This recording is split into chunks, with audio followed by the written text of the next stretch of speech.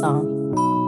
But this time, let's point out the vowels, like this. A is a vowel, it makes two sounds. E, I, O, U.